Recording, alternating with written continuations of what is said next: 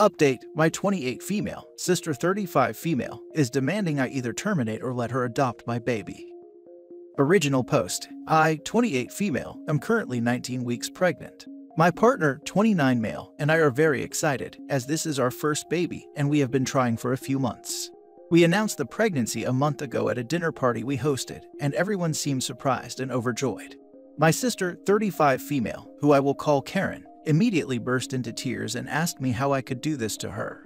I stared at her and asked, What? And she started ranting, saying that I always got everything I wanted. Which is not true, I worked hard for all that I have. Then added that she knew I got pregnant just so I could rub her infertility in her face.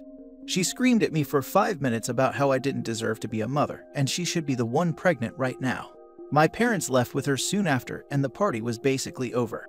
I was really disturbed by my sister's reaction because we had been pretty close before and she had never done anything like this. Karen called me the next day, apologizing for how she acted at my announcement and asked if we could meet up for coffee. I accepted. We met up and she pretended as if nothing had happened. Then she started a big speech about her infertility, how heartbreaking it is to be growing life inside of her, just to lose it, and how she had always wanted children of her own. She then proceeded to ask me if I could consider getting it terminated to make things fair or letting her adopt my baby. I stared at her and asked if she was serious. Karen said she was, so I just dropped my part of the bill on the table and left. Lester texted me a rant that night about how I'd made Karen cry and how all they ever wanted was to be parents and that this meant so much to them and that I owed them for being more successful than them. I and my partner invested many years into our jobs and we have worked very hard to earn what we earn now. I told them that my partner and I had been hoping for kids too, and that I was not giving up my baby. He hung up. She later sent me a long letter, four pages, about how she had always wanted to be a mother, and could I consider either terminating or letting her adopt my baby.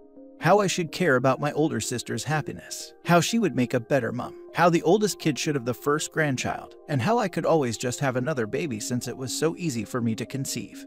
After that, she quieted down some, and I thought we were done with this. Except, it wasn't. She had posted my sonogram on her Facebook and captioned it, Lester and I are expecting. We can't wait to meet our little princess. I was seeing red. I texted her and demanded she take the post down. No reply. I texted Lester, no reply. So I called my mother and told her what happened. She was able to make Karen take the post down luckily enough. Karen has called me petty for calling my mom and has continued to demand I give up my baby. I sent her a letter explaining that I had had enough of her nonsense, I am keeping my baby, and that I recommend she get some help. I added that if she continues, I will not hesitate to call 999. This weekend, however, was the absolute last straw. My mom and dad have the spare key to my house, and while she was over at their house for brunch, she took the key. Then while my partner and I were at work, she broke into our house and stole all the clothing, blankets, nappies, bottles, and pretty much any other item we had bought for the baby except furniture. It was later returned after my mom found it in her car. I called 999, but they told me I couldn't do anything because I had no proof and because it was all returned. My partner and I are moving in April, but I'm still scared my sister will find out where we live and take my child. I get that she's upset and jealous due to her infertility, but that shouldn't mean I have to give up my baby.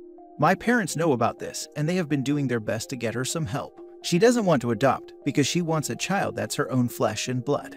I'm due in August, and the stress she's causing cannot and will not be good for me or the baby. My partner is looking into a cease and desist letter.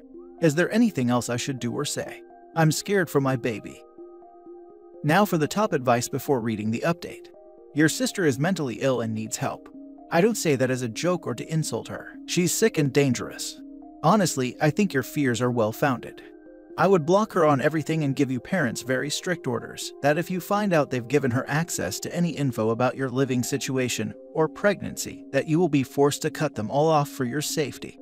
I'd also go talk to a lawyer to see if there's anything you can do to protect yourself here. In the US, you can get a restraining order so that the person will be arrested if they come near you. Last, though, would be to make sure you have cameras recording your new place.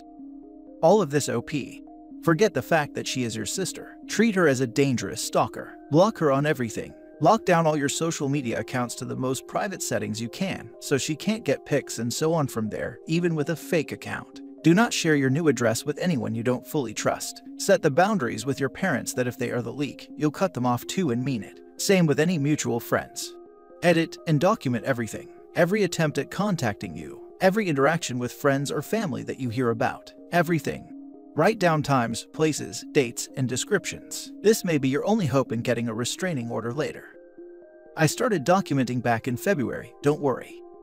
You should block her number, get a restraining order, move far, far away, and never speak to her again. She should definitively get a restraining order, as her sister seems serious about wanting that baby perhaps even to a point that she might do something crazy. We are documenting everything we can, and we'll be getting our restraining order as soon as possible. My dude, that is deeply unsettling. Your sister sounds like she needs much more help than your mom can provide, and you need to be distanced from her. I'm glad you're moving, and that fear you're feeling is real. First of all, none of what she's doing or saying should have any impact on you becoming a parent. You are not responsible for her life. The fact that she's escalated to breaking into your home is very concerning, and if you feel like your safety is threatened, you need to keep in contact with your local police. I'm so sorry you're going through this. Keep being clear with your parents that she cannot be allowed to be around you, that she cannot be allowed to visit, and that if she comes around, you will contact the police. Document these moments, especially any criminal ones, so that you have a clear record of what she's been doing if you do need to involve the police. When you move, ask to speak with a desk sergeant and make a statement so that they have something in writing at your local station just in case. Now for the update six days later. The support I've received from this forum is overwhelming. Thank you all for your comments. Although I couldn't reply to all of them, they are appreciated. We have had the locks changed, cameras installed, and a ring doorbell. I've started saving every letter and screenshotting every message my sister has sent and plan to take them to court for a restraining order very soon. We have also been seriously documenting everything. My husband and I are planning a trip to Ireland for our anniversary next week, and it's going to be good to clear our heads from my sister. I've called 999 to report her for harassment, and they gave her a warning. She's contacted me saying that if I won't give her my child, I can at least pay for multiple rounds of IVF, which I have not replied to, other than refusing. She's been begging my parents to convince me to give up my baby, which they refuse to do. They have also been given a statement that basically says that if they give her my contact information, they will not see my baby, to which they have agreed. I've since changed my phone number and we are moving very soon. My sister does not know our new address. She actually stood on our stoop for 20 minutes a few days ago, banging on our door and yelling. My husband opened a window and told her that if she didn't leave, he would let the dog out and threatened to call the police. We have a rather small, but hyper puppy who jumps on everyone and barks a lot, and she is quite scared of dogs actually, so this made her leave. I started working from home last week, as did my husband, and we followed the advice of one of the comments, washed all of the baby stuff, as well as made sure none of the food in our kitchen was messed with. None was, luckily.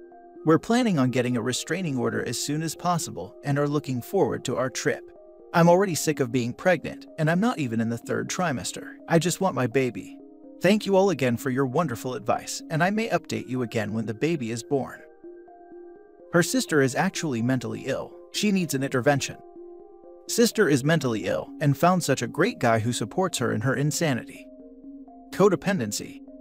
OP is right to be scared. Sis sounds like someone that would flat out steal that baby. Sis needs counseling, stat.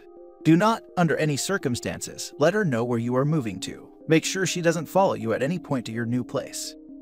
No, this sister sounds like someone who would cut a baby out of a pregnant woman's womb. She's completely crazy and needs to be involuntarily committed before she can do lethal damage, in addition to the emotional damage she's already inflicted. 100% exactly what I was thinking. She already posted a sonogram on social media, like she was preparing the world for the fact she would have a baby in six months. Super scary and worrisome for the OP. I had a coworker who also struggled with infertility. She lost her only child to a stillbirth and never recovered from it. She discovered that I, a young, healthy, and likely fertile woman, did not want children and demanded that I conceive and birth a child to give to her. I thought she was joking. She was not. Infertility can mess with your mind in all kinds of horrible ways, but Sister takes it to a new level. Hopefully she gets the help she needs, but something tells me this will continue to escalate. How did everything play out with your coworker if you don't mind me asking? The first time she said it, I laughed it off awkwardly because I thought she was joking. The second time, I told her firmly but politely to F off. She never mentioned it again but was noticeably colder toward me. Now for the last story. My 24 female, mom's affair partner who kicked me out of the house now wants to reconnect without talking about the past. How should I respond? Let's start with some history for context. About 17 years ago, my mom cheated on my dad with another married man. Let's call him Bill. My dad found out, which led to a divorce. My dad has narcissistic tendencies, which resulted in a very painful and messy divorce proceeding where I was put in the middle of my parents' fights. Several court cases lasted all the way up to when I was 15. Meanwhile, the relationship between my mom and Bill continued. I disliked him very much. He was the man my mom cheated on my dad with. Bill was a very prideful man too, and he had told my dad that he would soon be the man who tucked his children into bed. And when I started speaking up against him more, he would tell me my opinions didn't matter, that he came first to my mom and whatnot. He'd do this behind her back, which made me look like the bad guy when I reacted to it. Then when my mom was there, he would act all nice and like he was trying so hard to start a relationship. During this period, I turned inward more and more. I'd avoid Bill as much as I could. He slept at our house about three days out of the week. During a visit to my grandma on the 1st of January when I was 14, he told me that that would be the year we would make up. On the way back, we drove past a house, and Bill commented he may put in an offer so we could all live there together. I protested, said I would live with my dad if they'd move in together full time.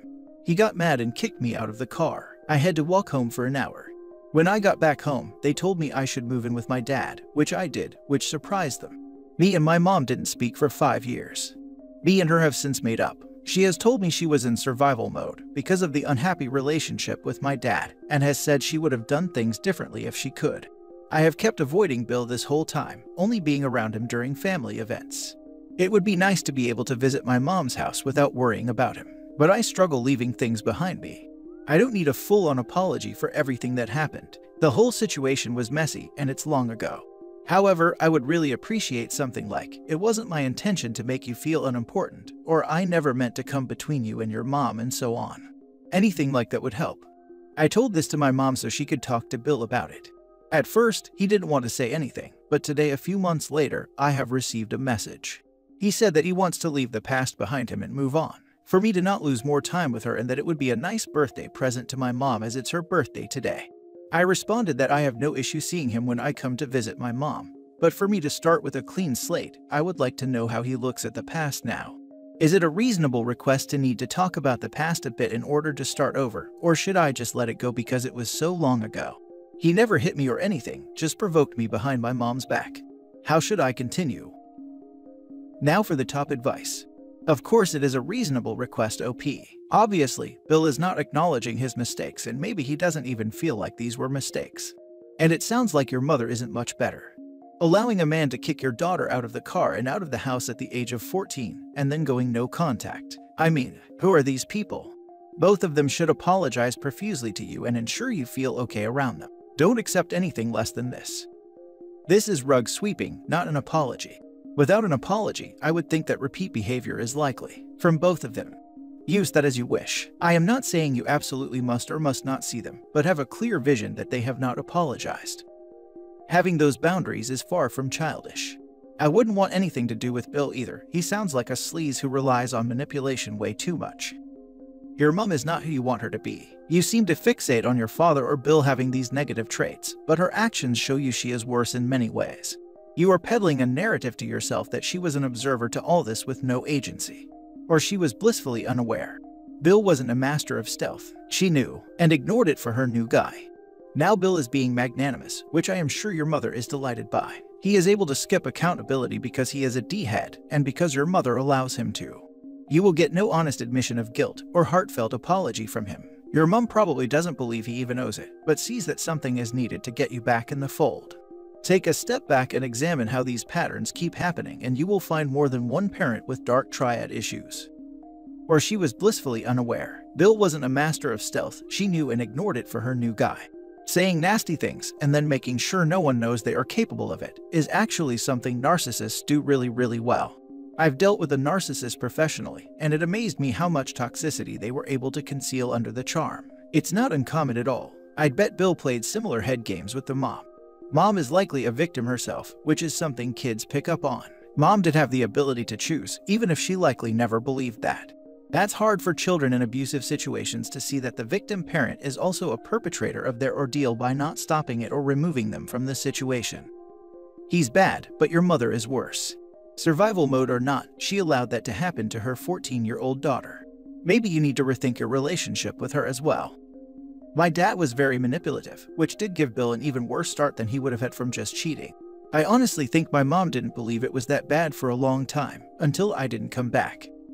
But she still stayed with Bill, so she really isn't sorry or putting you first. I don't feel like I can demand she breaks up with a man she loves and who she says treats her well, just because I don't like him and he's immature. He never mistreated me, called me names or anything. He did mistreat you. Kicking you out of the car to make you walk an hour at 14 is abuse.